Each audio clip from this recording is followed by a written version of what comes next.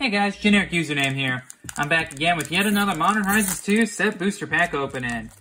Yeah, last time it was uh just a bunch of squirrel stuff. Yeah, very squirrely, very nutty. But yeah, hopefully we can get something good out of this one. And of course, if you end up enjoying the video, feel free to leave it a like and well, subscribe to the channel. Okay, so let's take a look at these rhinos just enjoying a nice meal. Very cool. I like it. Okay. Moving on, we got a nice little island. Simplistic. Got a nice little palm tree with a nice, well, the actual island in the background. Yeah. Okay. So with that, let's get on in the comments, starting with Funnel Web Recluse. Jewel-Eyed Cobra. Vermin Gorger. Nested Shambler. Squirrel Sovereign. Oh, look at that little squirrely, just vibing. He's like, hey, I'm a squirrel. I'm so cute. Ravenous Squirrels. Okay, he's not as cute. Squirrel Sanctuary.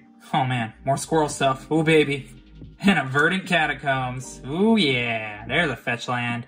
So yeah, Verdant Catacombs. It's a land that has tap, pay one life, sacrifice it, search your library for a swamp or forest card, put on the battlefield, then shuffle. Yeah, gotta love the fetch lands. So this thing can go find you Bayou, it can find you Overgrown Tomb, it can find you just a basic forest or a swamp. But you know what?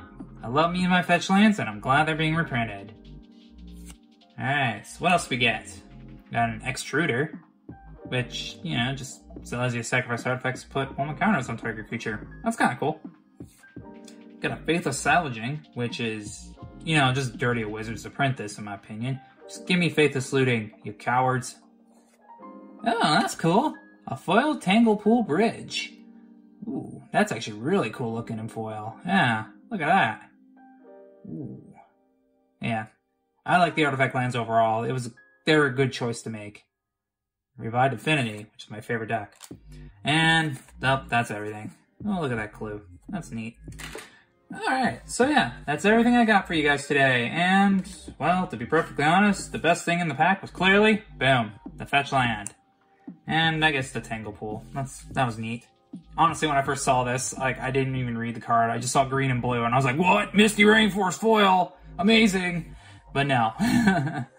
but yeah, like I said, that's everything I have for you guys today. If you end up enjoying the video, feel free to leave it a like, and well, subscribe to the channel. Other than that, I hope you have a good day, a good night, and I'll catch you next time. Peace!